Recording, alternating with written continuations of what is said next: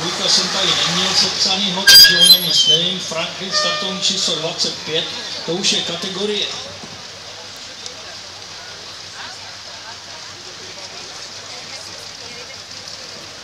Automobily Vintage, Josef Lášek předvádí Franklina s10A Touring z roku 1922.